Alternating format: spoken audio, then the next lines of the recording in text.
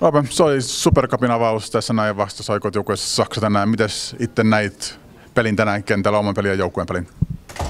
No joo, et mun mielestä pelattiin ihan, ihan hyvä koriste, tota, no niin, aika hyvä puolustus molemmat joukkueet. Et, et, tota, vähän oltiin toiseen puolelle ja tappio noustiin mukaan peliin ja sitten Saksa meni paikkaan siinä lopussa ja sitten me vähän passivoiduttiin ja meidän peli oikein jämähti molemmissa, molemmissa päässä kenttää ja, ja ei saatu Korea ja Saksa pääsi juokseen helppoja kuppeja toiseen päähän, niin, niin, niin se ratkaisi, ratkaisi pitkälti tämän, tämän päivän peli.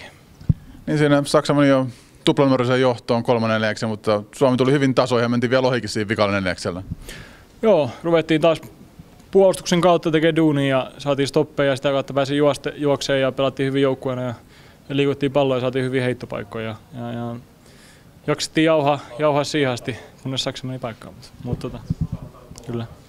Ja joukkueessa on loukkaantumisia muutenkin tässä näin poissaoloja, mutta silti näkyy, että susijengistä löytyy leveyttä, koska uusia ratkaisuja joutuu, löytyy koko ajan niin kuin sinä ja Lauri tietysti ja muuta vastaavaa. No joo, että kyllä kaikkeen pitää nostaa niin kuin tasoa, että et, et, et, näilläkin mennään ja, ja kyllä meillä on hy, hyvä joukko, että me ollaan, me ollaan reenattu, reenattu hyvin ja, ja, ja, kaikki tietää mitä pitää tehdä ja kun ne kaikki hoitaa oman roolissa niin tota, ja pelataan joukkueena, niin en mä usko, että meillä on mitään hätää. Että totta kai vähän uusi tilanne, mutta tota, uskon, uskon, että, huomio, huomio on vielä parempaa, että tota, siihen tähdätään. Ja tosiaan pelit tulee tiukkaan tahtiin tänään kolme peli kolmen päivää ja huomenna puolella vastassa, niin tätä ottelua ei tarvitse enää, tai joudu paljon miettimään ennen kuin seuraavan pelin pitää jo pistää katseet.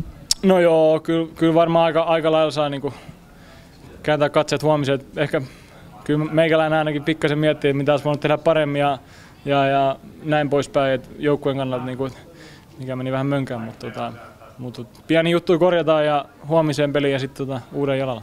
Ja onko valmennusjohtajajoukko vielä yhtään miettinyt, minkälainen vastuja Puola on vai onko katse enemmän tähän peliin? Ei keskitty vaan tähän peliin, että se, se tulee sitten huomenna veikkaisin.